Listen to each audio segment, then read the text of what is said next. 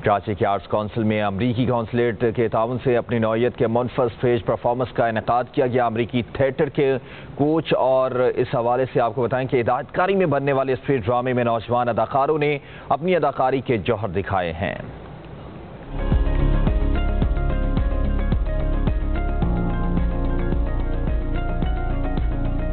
कराची में नौजवानों ने जोकर का रूप धार कर बगैर किसी मुकालमे के बेहतरीन स्टेज परफॉर्मेंस पेश करके शुरा की खूब दाद वसूल की।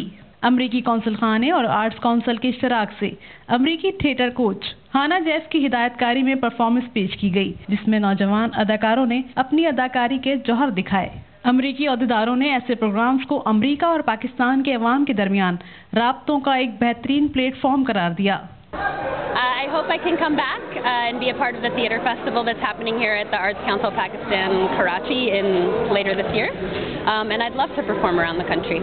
Performance के ऑर्गेनाइजर का कहना है कि अमेरिका के ताउन से कराची में जोकर्स का ये ड्रामा अपनी नौयत का पहला प्रोग्राम है मुस्तकबिल में ऐसे मजीद प्रोग्राम्स मुरतब किए जाएंगे अमरीकी और पाकिस्तानी अवाम के दरमियान रबतों की सतह को बेहतर बनाने और दोनों ममालिक के अवाम को करीब लाने के लिए ऐसे सकाफती प्रोग्राम बेहतरीन प्लेटफॉर्म साबित होते हैं। Shaista Jalil, public news Karachi.